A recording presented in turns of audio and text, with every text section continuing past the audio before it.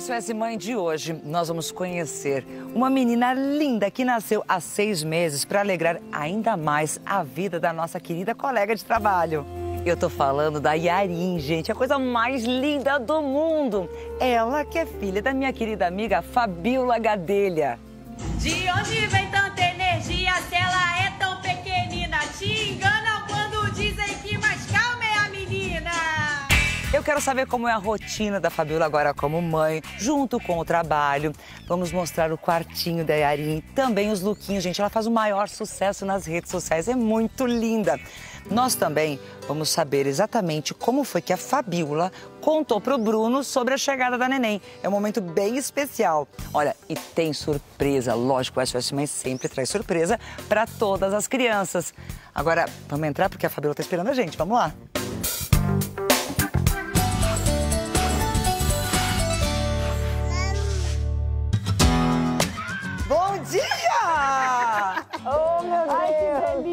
Receber, mana. Ah, eu que tô muito feliz como você tá linda, mais, mais linda e mais gostosa do que nunca. Não é, Fabiola? Tá maravilhoso. sem propaganda enganosa. Ah, É, amor, vem aqui. Bruno, tudo bem? Eu fico tudo. Como vai? Tudo bem? Obrigada por abrir a casa de vocês pra gente, isso, viu? Muito obrigada. E me conta uma coisa, a Yarin, ela puxou o temperamento do pai ou da mãe? Da mãe. Da mãe? bem agitada. É Graças bem a. Deus, pelo menos isso. Como assim, pelo menos Pois isso? Você vai ver, todo mundo, todo mundo fala a cara do pai, eu disse, "É, mas a personalidade da mãe. Ai, primeiro, muito obrigada, viu? Ah, Por abrir a casa de vocês nesse momento tão especial, com uma nenenzinha pequenininha, mas, poxa vida, casa com família grande, né? Grande. São três? É, Dois homens, um com 21, um com 19 e agora uma pequenininha com o seis meses. acabou de fazer 22, o mais velho já tá 22? com 22. Isso. Ou seja, engravidei 20 anos depois da minha última né, gestação. Eu acredito que a família toda está renovada. E o delícia. amor que eu presencio assim dos meus filhos com a minha filha é algo que eu nunca imaginei passar e é algo que eu nunca vi, Ana, na vida. Jura? Porque é um amor diferente. É um amor com mais consciência. Por conta da diferença de idade. É um amor de irmão, mas com cuidado de pai. É assim, gente, eu vou falar uma coisa. A gente consegue ver nesse amor que a gente tá vivendo realmente Deus. Sabe? É algo assim surreal. Ai, amorzinho, senta ali. Fabiola, ó, aqui do lado. foi aqui, ó, você tá que fez aqui. tudo que tá nessa Pronto. mesa aqui. Não, é. Algumas coisas a gente encomenda, outras Ah. coisas a gente compra pronto. Mas você gosta de cozinhar? Mas eu gosto. Mas sim, algumas coisas eu fiz aqui. Por exemplo, Você cuida bem do Bruno? Cuida, Eu vou deixar ele cuida, responder cuida, melhor. cuida sim. Cuida bem de Cuida você. Bruno? Até demais. a porrada que eu dei no braço dele. né? Cuida. Já que temos esse café da manhã, eu vou aproveitar para conversa primeiro com o Bruno, porque eu quero saber do Bruno como está sendo esse momento com a Yari em casa. Ah, um momento único, né? Inexplicável. Bênção de Deus, né? Na nossa vida. É, às vezes eu falo para Deus, será que eu mereço tanto, Senhor? E... É como eu... Pai de primeira viagem, É. né, Luana? É, Se eu falar Você é pai babão? já- Sou. ele já fica com vontade de chorar. Sou, sou Jura? babão, sim. Do babão. E ela é muito expressiva, né? Então, assim, ela cativa demais as pessoas. Bem risonha que nem a mãe. Você foi aquele tipo de pai que sentiu junto com a mãe, por exemplo, fome, desejo, Ele que sentiu, eu não sonho? senti nada. Você não sentiu Ele nada? sentiu tudo desde o início. Isso aí. O que, que você sentiu? Ó, vontade de espalhar limão demais, E assim. tanto, tanto, eu, eu corto, né? Eu sou meio educada, mas eu vou falar. É porque foi assim, eu tava fazendo um vídeo, aí ele tava chupando limão. Aí a mamãe pegou e disse assim, me ligou. Tá grávida não? Eu falei, não. Mas o, esse, o Bruno chupando limão desse jeito, aí foi aí que eu me atentei. E na minha gravidez, ele sentiu sono, ele sentiu vontade de comer, tudo. Graças a essas Deus, que aí eu Não não. sou muito fã. co- Comecei a ter o apetite dela. É. Agora, me conta o dia que você descobriu que ia ser pai.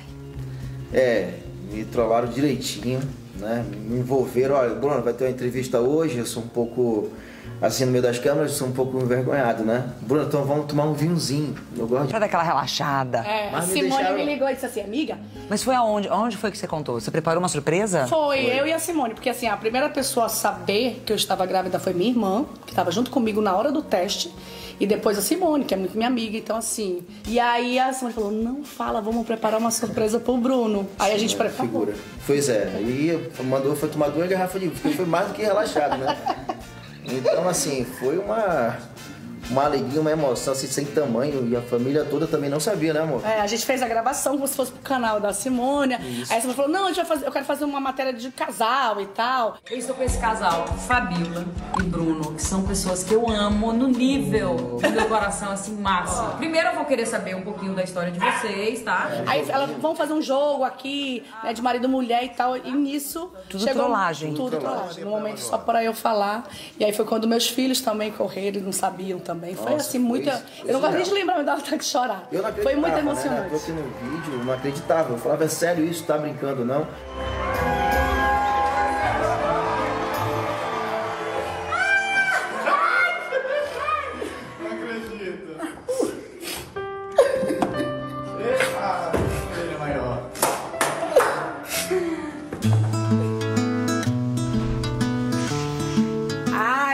Você vai conhecer a princesa.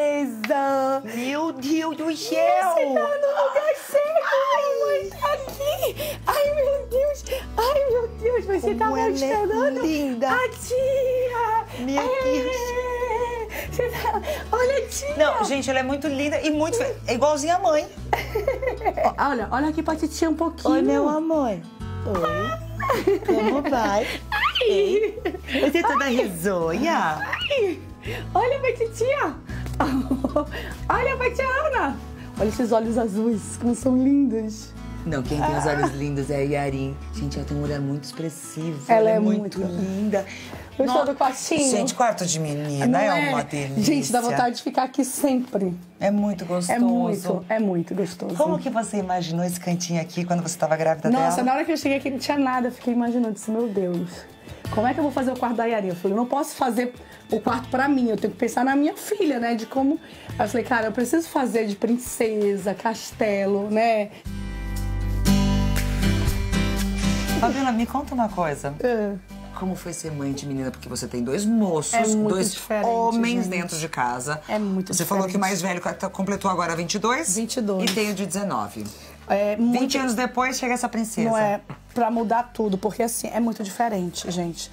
É, mulher, ela tem uma, uma sintonia, assim, no olhar. é, eu não sei te explicar. E eu acho que por ser mulher, né? E aí você vê uma, uma criança ali. é, que tem um- uma meiguice, é, porque a, a menina ela vem mais meiga, ela vem mais carinhosa, sabe? Ela vem mais delicada, é diferente. E a Yarinha, assim, ela é muito parecida comigo na personalidade, ela é muito expressiva. Desde quando nasceu, a gente tem uma sintonia. Desde, ela nasceu me olhando.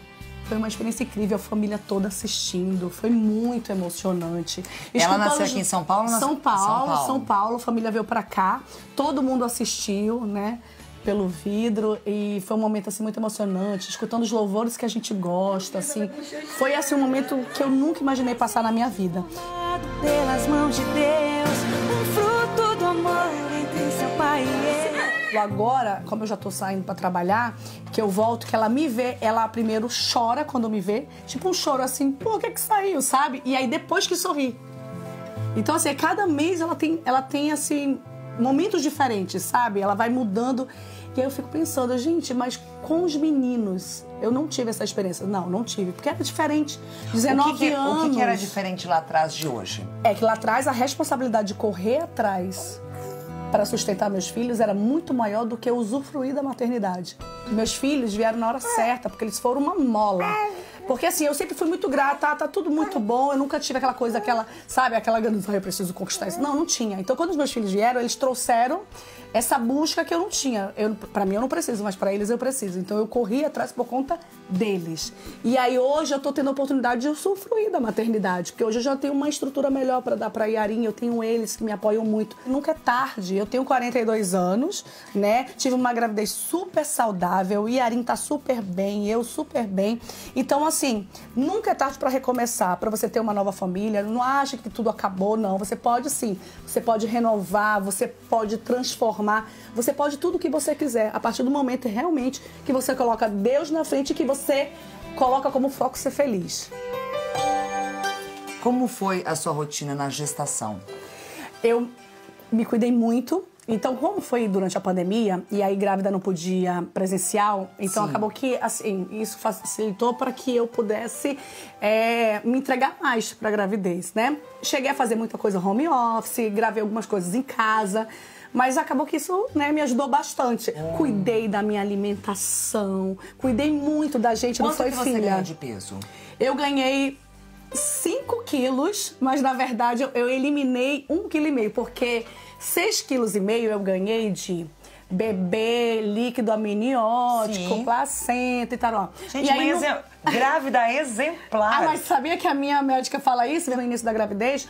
Foi, foi é, já procurar uma nutricionista é, gestacional mesmo, que é especializada, sabe? Que tem diferenças Tem também. diferença, sim. Cara, aí foi tudo de bom, foi tudo maravilhoso. Quando terminou, já perto de ter a Yarin pra gente decidir a data da cesárea, aí a doutora falou, Fabiola, você eliminou um quilo e meio.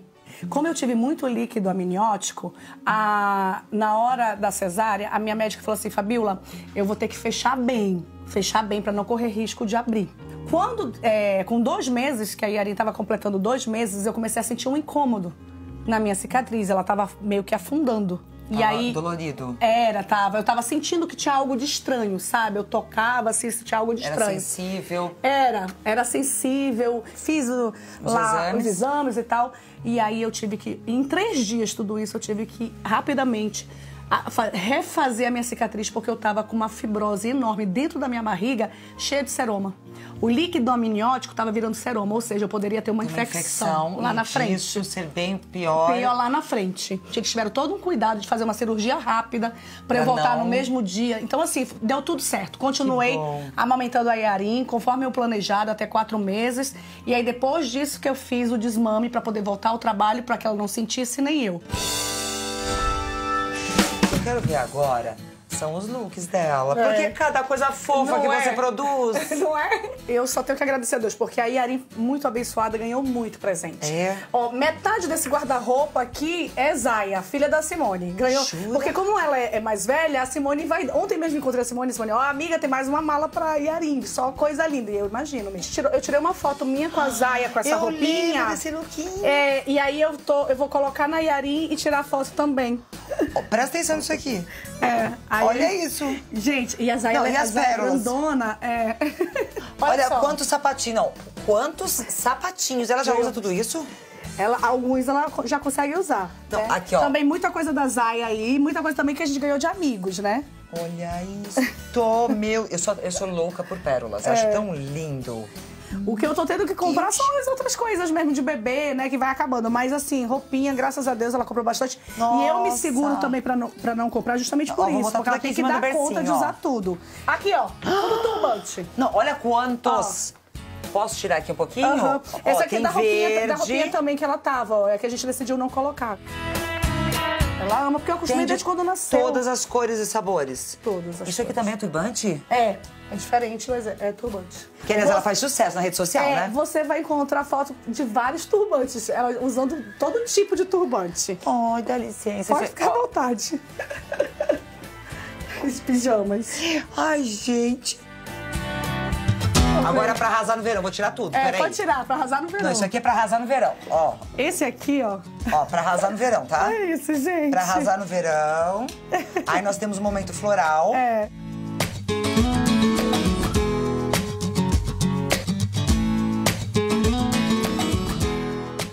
Me conta uma coisa. A gente falou antes do, do- da preparação que você fez pra poder contar pro Bruno sobre a gravidez. Sim, foi. Mas teve um outro momento também que foi muito especial que você fez, que foi o chá revelação. Nossa, gente, que. que Quem é ficou uma- mais emocionado, você ou o Bruno, quando descobriram o sexo? É, nós quatro, eu, Bruno, Ada e Adriel, a gente até passou mal, te juro, de tanta emoção, tu acredita?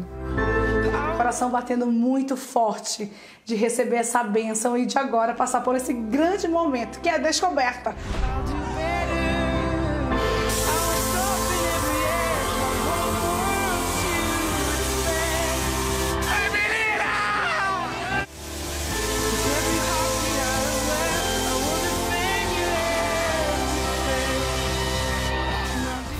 Nunca imaginei que eu fosse ser mãe de menina. Então, realmente, é, me surpreendi muito. Foi muito mais do que eu pensava, imaginava, eu sonhava. E, cara, é uma felicidade única. E quando eu lembro do chá revelação, assim, já bem na mente, eu já fico com vontade, assim, realmente chorar, porque foi muito emocionante.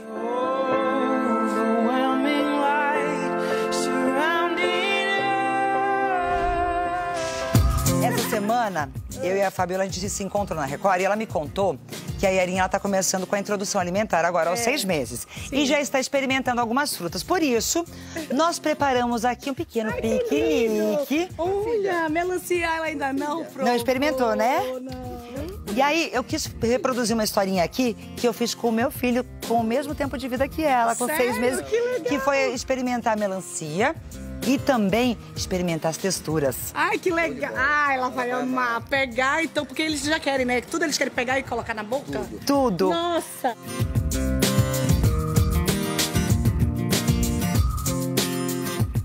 Tipo Magali, filha, vai.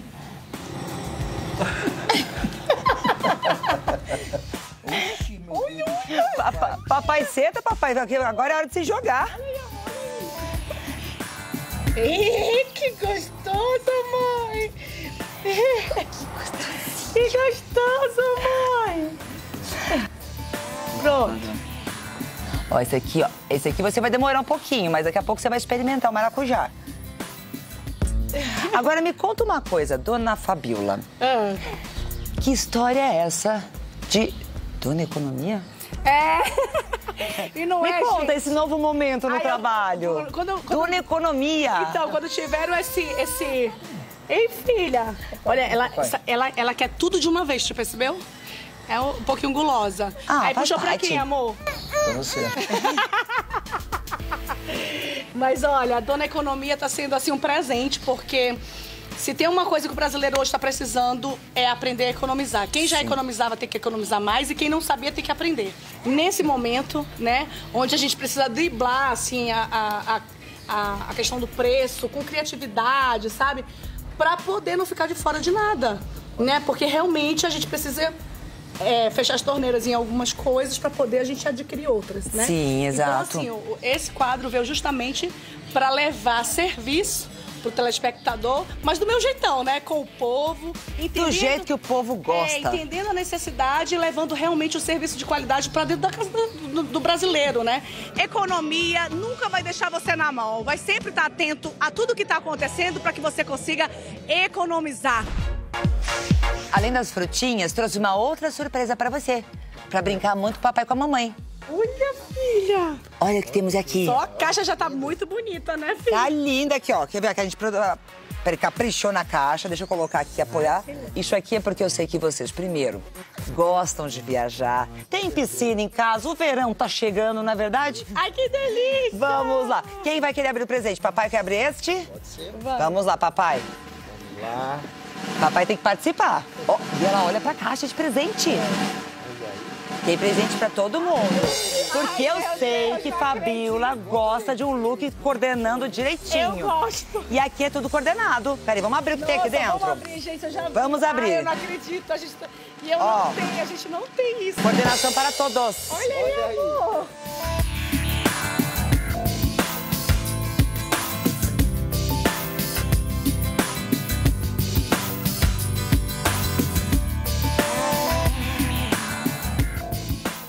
Pode abrir? Pode, lógico. Ai, meu Deus. Precisa ser kit completo praia, né, gente? Olha isso, amor. Olha aí, olha. Mostra, mostra. Olha, pra brincar na... Ai, na areia, já quero isso.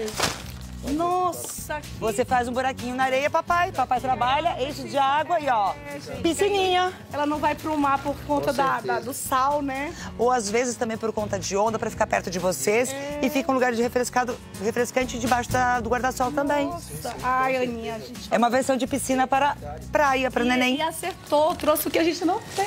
Nossa, eu gostei muito, muito, Ai, muito. gente, que demais. Aninha, obrigada. Muito obrigada. Você é muito especial, você é muito querida. Gente boa demais. É, muito, obrigada por tudo. Eu que viu, tenho que você agradecer vindo vocês. aqui. Eu que tenho que agradecer por vocês terem aberto a casa. Obrigada. Ah, Obrigada, minha amiga. sempre, Obrigada mesmo. Eu amei demais. E eu espero que vocês de casa também tenham curtido tanto quanto eu. Foi muito especial. Foi muito especial. E se deixar, a gente vai embora, né? Vai embora, vai falando, não para não. Falando, Diretor fica doidinho aqui, então vamos fazer o seguinte: eu vou encerrar aqui o SOS Mãe, porque a gente vai continuar a brincadeira aqui com o Yarim. Mas, ó, eu espero vocês na próxima. Beijo! Beijo! E até o próximo SOS Tchau, Mãe, gente! gente! Aí a gente vai continuar fazendo bagunça aqui. Ih!